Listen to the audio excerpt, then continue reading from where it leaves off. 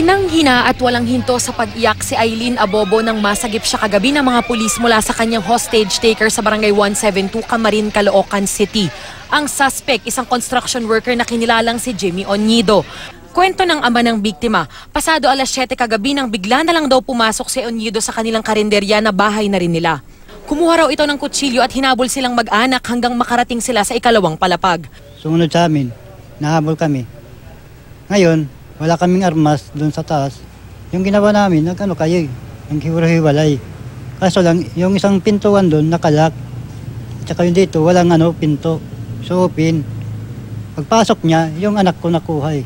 Dinala raw ng suspect ang biktima sa loob ng banyo. Doon tumawag ng mga pulis ang pamilya. So yung spacer, yun din yung naging hindrance natin.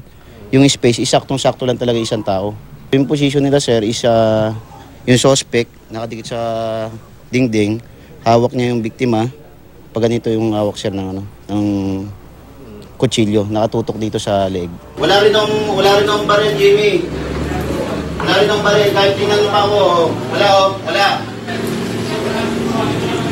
Nakikipag-usap lang ako, Jimmy, para matulungan kita, ha? Wala raw ibang hiningi ang suspect kundi makausap ang kanyang kapatid na nakatira sa Novaliches, Quezon City. Kaya pagdating ng kapatid ni Onido, agad din daw kumalma ang suspect. Medyo nag-relax siya. Ah, medyo nag-downguard yung ah, suspect natin. Tapos dahan-dahan lumalapit yung negotiator natin, then yung ah, kapatid. Tapos yun sir, ah, kinuha na po natin yung kutsilyo.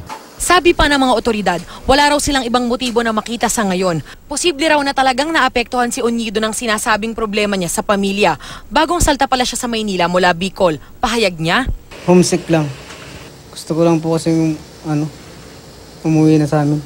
wala naman daw talaga siyang balak sakta ng biktima. Pero hindi kumbinsido ang pamilya Abobo. Kasi ang purpose niya parang papatay ng tao eh. Parang nakadrugs yata yan eh. Yung Galit at saka yung ano eh. Hindi ko maisip eh. Takot? Kasi nagano takot at saka galit eh.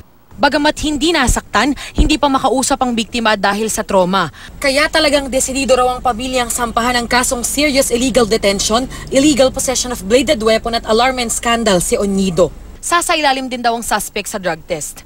Darlene Kai, GMA News.